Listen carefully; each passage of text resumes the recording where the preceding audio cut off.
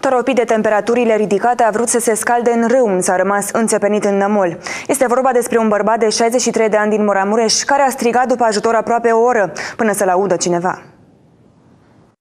Bărbatul a dorit să facă o baie în Someș, însă aflat pe marginea râului, acesta s-a dezechilibrat și a alunecat în apă. Nemai putând să iasă, a strigat după ajutor 10 de minute în Sânzadar. Într-un final, un trecător i-a auzit strigătele disperate. Am trecut pe și am auzit strigând după ajutor.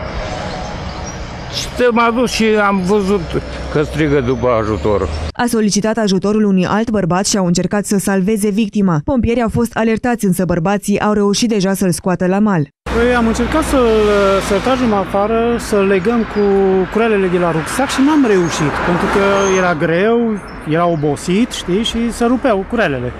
Și până la urmă nu am avut ce face, m-am dus acasă, am adus uh, hârlețul, am făcut niște trepte și am coborât jos, l-am legat de mână și l-am extras. Din Ulterior, bărbatul a fost transportat la spital pentru îngrijiri suplimentare. Bătrânul a fost norocos, deși epuizat de oboseală, a scăpat teafăr fără ca viața să-i fie periclitată.